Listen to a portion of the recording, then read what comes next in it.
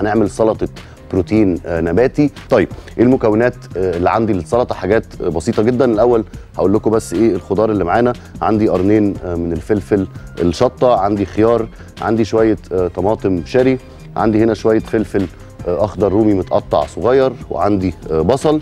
عندي عشان البروتين بتاعنا النباتي عندي حمص وعندي شوية من الشطة. أما بالنسبة للدريسنج عندي عصير ليمون عندي زيت زيتون عندي كزبرة وجنزبيل وكمون وده كل اللي إحنا محتاجينه طبعا والملح والفلفل. طيب هناخد بس إيه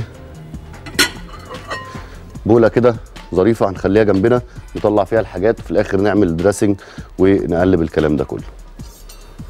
هاخد الخيار بتاعي وأنا عايزه slices أهو اللي هي تقطيعة السلطة الطبيعية بتاعتنا خالص. بقطعها مش رفيع قوي ومش تخين قوي.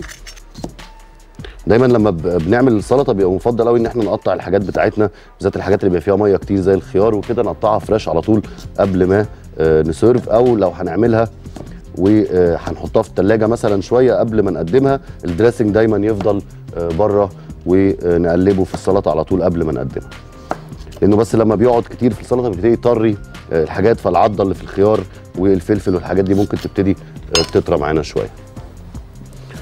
طيب أدي الخيار بتاعنا اهو. عليه الفلفل الأخضر. هاخد قرون الفلفل اهي. ودي بقى على حسب إحنا عايزين قد إيه. إحنا مش عايزينها سبايسي قوي وأنا هقطع النص اللي إيه اللي تحت كده قبل ما نوصل للبذر ونخش في الايه في السبايسي التقيل. ودي طبعا اختيارية جدا ممكن ما نعملهاش خالص لو ملناش في إيه؟ في التاتش السبايسي ده.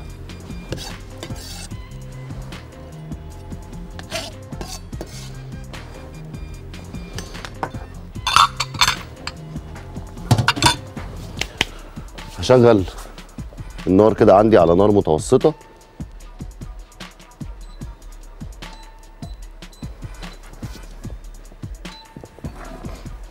وهحط طاسة كده بتاعتي هديها فرصة تسخن وبعد كده هننزل آه، فيها بالحمص مع شوية من الزيت كده. طيب عندي الطماطم الشاري دي هاخدها انصاف كده مش هناخدها شرايح ولا حاجة اهي.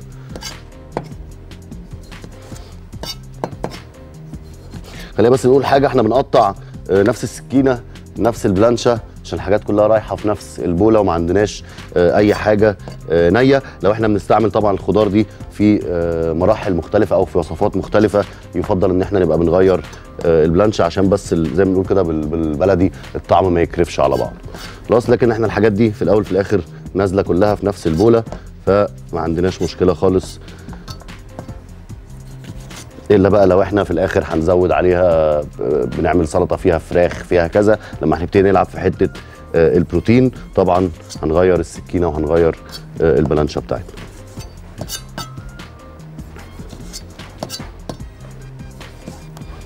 السر كمان مع الطماطم ال cherry زي ما أنتم شايفين كده سكينتك تبقى إيه حامية عشان ما تلاقيش المية بتاعتها كلها على ال cutting board أو على البلانش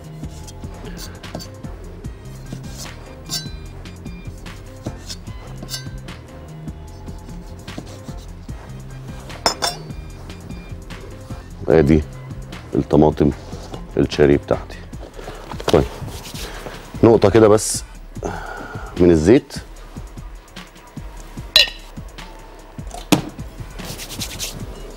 هجيب الحمص بتاعي هنزل عليه شوية الشطة مش كتير إحنا حاطين تقريبا حوالي نص معلقة صغيرة. وهنعمل كده برضو شوية من الملح وشوية من الفلفل الأسود. بص هنسيب ده ثواني كده. البصل بتاعنا هناخده سلايسز عادية خالص. فهاخده أهو بالنص ومن هنا. شرايح عادية خالص.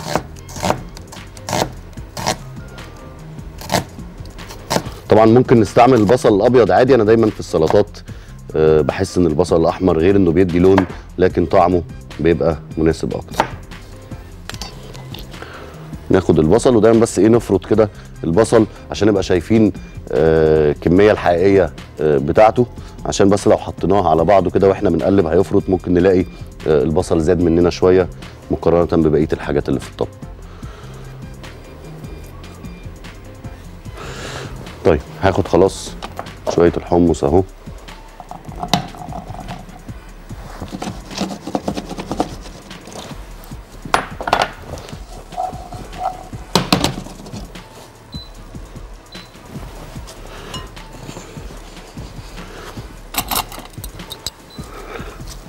نفس التقليبه اهي.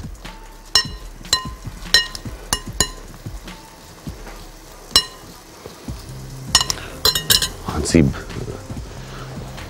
السلطة بتاعتنا ونبتدي نجمع الصوص. طيب هنزل عصير الليمون اهو. زيت الزيتون. كزبرة. جنزبيل. الكمون. وأخيرا ملح والفلفل الأسود.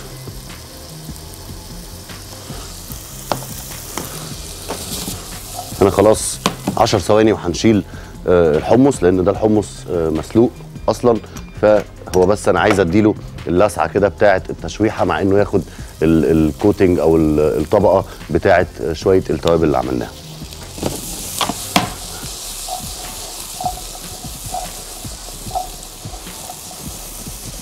هاخد الحمص بتاعي اهو على السلطة.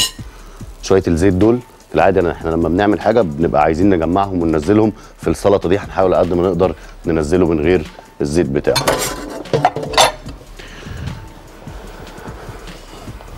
مضرب.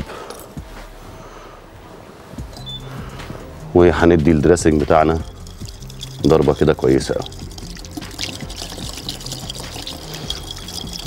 ليه دايما بقول لكم ال dressing بالذات محتاج ياخد ضربة كويسة؟ لأن إحنا بنحاول نخلط الزيت مع ال- العصير آه، الليمون. عشان كده بقول لكم ال dressing كمان المفروض يتعمل وأول ما يخلص كده تقليبه ينزل على طول على السلطة وتتقدم آه، كمان على طول عشان قبل ما آه، الصوص أو ال dressing ده يبتدي يفك من بعضه تاني. خلاص أول ما تحس إن إحنا كده خلاص أهو جبناهم في texture أو في consistency أو في قوام واحد على طول هنزل بيه على السلطة بتاعتي. ونلم بقى بس إيه بهاريز زي ما بنقول. ونديها تقليبة أخيرة.